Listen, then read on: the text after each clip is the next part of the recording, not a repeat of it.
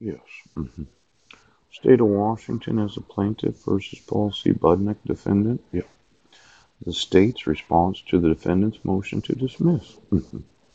On September 19th of 2017, Mr. Budnek was arraigned mhm, on charges of cyberstalking and violation of domestic violence no contact order. Yes. I was video arraigned in front of Judge Landis. I asked her to read the protection order. I asked her to see that the petitioner didn't sign it. Yes. I was 47 years old at that time.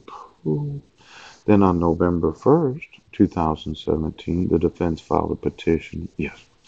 Now, we already went through this whole idea of discovery. hmm hmm Well, um, I wasn't in Brennan. Yes. And I wasn't cyber stalking. Oh.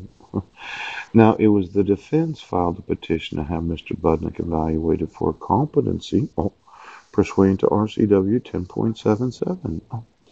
Now, this whole idea on November 1st of 2017, yes, mhm, um, that that you never asked me where I was, yes, that the police department always had the evidence that I wasn't in Brennan, yes, and they had received emails every day from September 19th until November 1st, yes, that I was informing them of fraud and forgery. Mhm, mhm. Now, in a report mhm, dated May 14th, 2018, yes.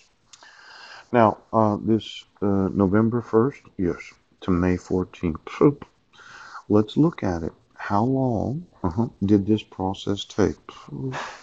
Now, just so you know, I'm helping myself to some lawsuits today. Mhm. I'm 48 years old. Mhm. What irritates me, yes, is when you refuse to admit exonerating evidence. Ouch. It causes me to think about how to sue you and have you put in prison. Oh. Now, November 1st of 2017 mhm, until May ooh, ooh, 14th. Yes. mhm, May 14th. Oh, look at this. Uh-huh. This was dated May 14th of 2018, six months, 13 days later. Mhm. An evaluator had found me incompetent uh, to stand trial. now, you had 194 days to admit the exculpatory evidence that I wasn't in Brennan. Yes. And the evidence of fraud and forgery. Instead of doing that, oh, police department, yes, sheriff's department, you decided that you'd act like you had no idea what I was talking about. now, let's see. You had 194 days to call Western State Hospital and tell them I wasn't in Brennan. But you decided not to do that. Now, um, just looking at it, okay, this is difficult for you, but I'm going to help you do this. 194, yes, 194 days times, yes, 2,000 emails a day. That means that you had 30, 388,000 emails.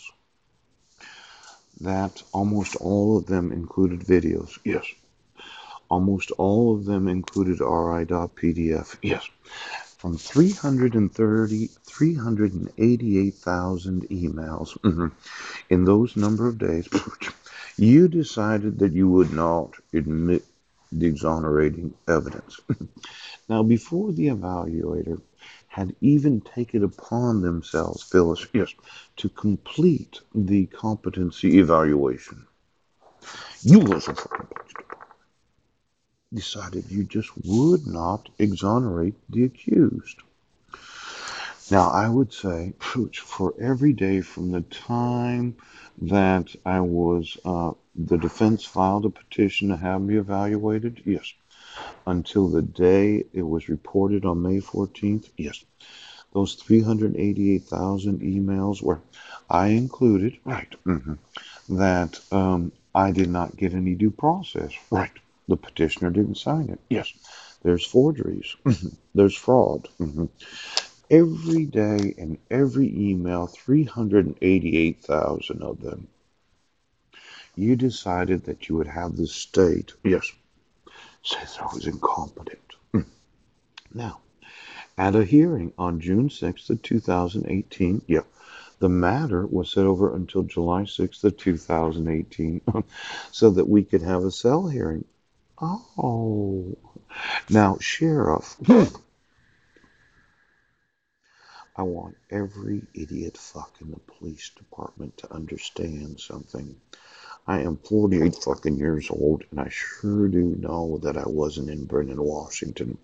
And of those 388,000 emails, every ind- hmm.